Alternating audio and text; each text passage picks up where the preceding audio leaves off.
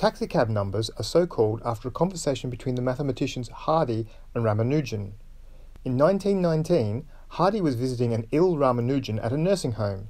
Hardy commented that his taxicab on the way there had rather a dull number, 1729. No, Hardy, Ramanujan replied. It is a very interesting number. It is the smallest number expressible as the sum of two cubes in two different ways. Those pairs of cubes are 1 cubed plus 12 cubed and 9 cubed plus 10 cubed.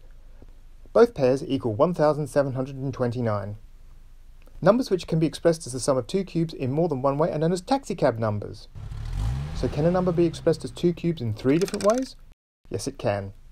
The smallest number that can be expressed as the sum of two cubes in three different ways is 87,539,319.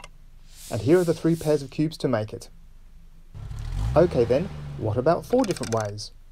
The smallest number is 6,963,472,309,248. Five ways?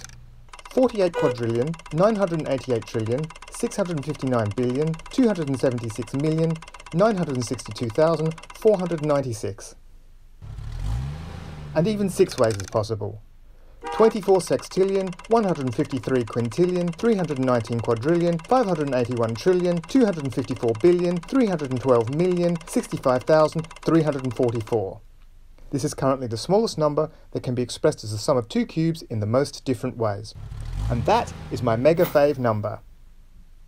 This video has been part of the effort by mathematics YouTubers to talk about their mega fave numbers. You can watch other mega fave numbers by YouTubers like Matt Parker of Stand Up Maths, Brady Haran of Numberphile, and Eddie Woo.